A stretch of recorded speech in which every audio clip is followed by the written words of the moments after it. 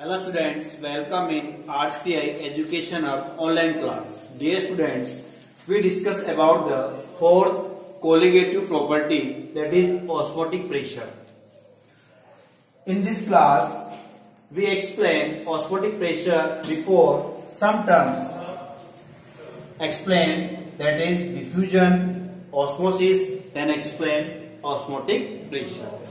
Clear? थोड़ा इस topic को समझने के लिए अपन कुछ टर्म यहाँ पर एक्सप्लेन करेंगे। डिफ्यूजन हुआ ऑस्मोसिस हुआ, उसके बाद अपन चलेंगे कहाँ पर? ऑस्मोटिक प्रेशर क्लियर सबसे पहले बात करते हैं अपन डिफ्यूजन डिफ्यूजन मीन्स डिफ्यूज होना, बिल्कुल फैलना। That is the molecule of substance कोई भी आपका सब्सटेंस है, उसका मॉलिक्यूल का हाई कंसेंट्रेशन से। हाई कंसेंट्रेशन से कहाँ पर लो कंसेंट्रेशन में फ्लो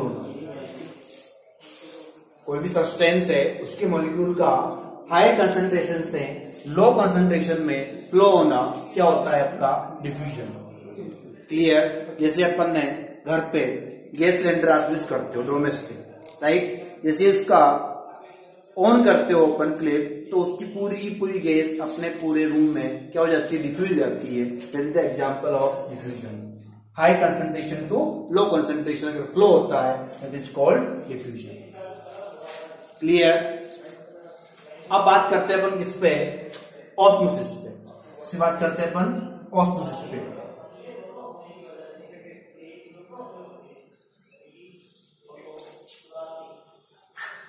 बात करते हैं अपन ऑस्मोसिस पे। अब ध्यान से समझिए बेटा ये अपने पास में एक किसिल फनल है। बेटा ये?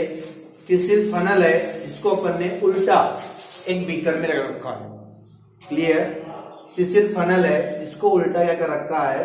बीकर में रख है। और इसमें क्या लगा रखी है अपन ने? SPM that is the semi permeable membrane right इसमें अपन ने फिल कर रखा है आपका सुगर सॉल्यूशन क्या फिल कर रखा है आपका सुगर सॉल्यूशन, राइट? और इसमें फिल कर रखा है अपन ने वाटर सॉल्यूशन। क्या फिल कर रखा है अपन ने इसमें वाटर सॉल्यूशन। क्लियर जो सेमी परमेबल मेम्ब्रेन होती है, इसकी कंडीशन होती है कि इसमें से आपके ओनली ओनली सोलवेंट के मॉलिक्यूल ही पास हो सकते हैं। सेमी परमेबल मेम्ब्रेन जो होती है, उसमें से only only pass solvent molecule क्योंकि उसकी जो पोर की साइज़ होती है, वो सोलवेंट मॉलिक्यूल के साइज़ के इक्वल होती है। क्लियर अब यहाँ से क्या होता है? ऑस्मोसिस में जो सुगर सॉल्यूशन है और वाटर आपका जो सोलवेंट ले रखा है, इनके बिटवीन क्या होगा आपका? फ्लो होगा। इनके बिटवीन क्या होगा आपका? फ्लो होगा। तो फ्लो के लिए मैं अब चलता हूँ इस डायग्राम इसी डायग्राम को ले सकते हो। जैसे अपन ने समझो इसको ऑस्मोसिस को ये आपका सोलवेंट है। क्लियर क्या ये? सॉल्वेंट है ये। क्या ये? सॉल्वेंट और ये अपने पास में सॉल्यूशन है। क्या ये?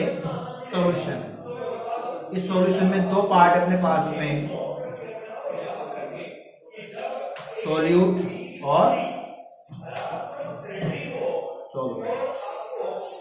क्लियर तो यहाँ पर ध्यान से समझिए अब बात करूँ यहाँ पर कंसंट्रेशन तो ध्यान दीजिएगा, इस वाले में कंसंट्रेशन ऑफ़ सॉल्वेंट क्या है? ज़्यादा है। और यहाँ पर कंसंट्रेशन ऑफ़ सॉल्वेंट क्या है? कम। क्लियर और अगर यहाँ बात करूँ मैं कंसंट्रेशन ऑफ़ सॉल्यूशन वो क्या है आपके पास में? कम है। और यहाँ पर कंसंट्रेशन ऑफ़ सॉल्यूशन वो क्या है? ज़्यादा है। बट इस टर्म को समझो आप। कंसंट्रेशन ऑफ़ सॉल्वेंट इस पूरे पूरे सॉल्वेंट में क्या है? ज़्यादा है। इन सॉल्यूशन जो सॉल्यूशन दो पार्ट से मिलकर बना हुआ है आपका सोल्यूट और सोलवेंट तो यहाँ कंसंट्रेशन ऑफ़ सोलवेंट क्या है? कम है। अब प्योर सोलवेंट में सॉल्यूशन का फॉर्मेशन हो नहीं सकता। तो यहाँ पर कंसंट्रेशन ऑफ़ सॉल्यूशन क्या है? आपकी बिल्कुल लो है। और सॉल्यूशन इससे मिलकर बना हुआ आपका सोल्यूट और सोलवेंट से। तो कंसंट्रेशन ऑफ़ सॉल्यूशन क्या हुई यहाँ पर? ज़्यादा हो अब देखो, बात करते हैं अपन किसकी? ऑस्मोसिस की। ऑस्मोसिस में क्या है? द प्रोसेस इन विच ध्यान समझना the process in which molecule of solvent, right? Molecule of solvent pass through semi permeable membrane molecule of solvent pass through semi permeable membrane from low concentration to high concentration of solution clear low concentration of low concentration to high concentration of solution दोबारा clear कीजिए। The process in which molecule of solvent pass through semi permeable membrane from low concentration of solution to high concentration of solution is called osmosis is called osmosis clear इसके दूसरे application भी अपन दे सकते हैं the process in which solvent of molecule pass through semi permeable membrane from high concentration of solvent to low concentration of solvent is called osmosis. Is called osmosis तो confuse होने की ज़रूरत नहीं है। अगर सॉल्वेंट की बात करेंगे अपन तो सॉल्वेंट हाई से लो और सोल्यूशन की बात करेंगे तो लो से हाई दोनों ही रेफरेंस में आपकी डेफिनेशन सही है। कई बुक में आपको लो से हाई मिलेगा हाई से लो मिलेगा तो इसमें आपको कोई डाउट नहीं होना चाहिए। In the reference of solution low concentration to high concentration इसका फ्लो होगा सॉल्वेंट मॉलिक्यूल का, इसके थ्रू सेमी परमेबल मेम्ब्रेन के। और बात करें अपन, वही सॉल्वेंट मॉलिक्यूल का पास होंगे?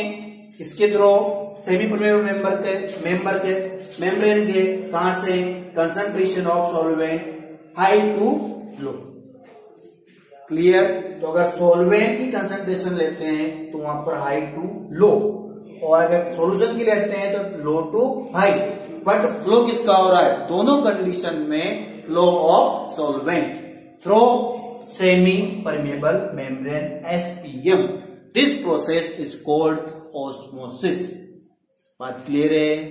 कोई डाउट है?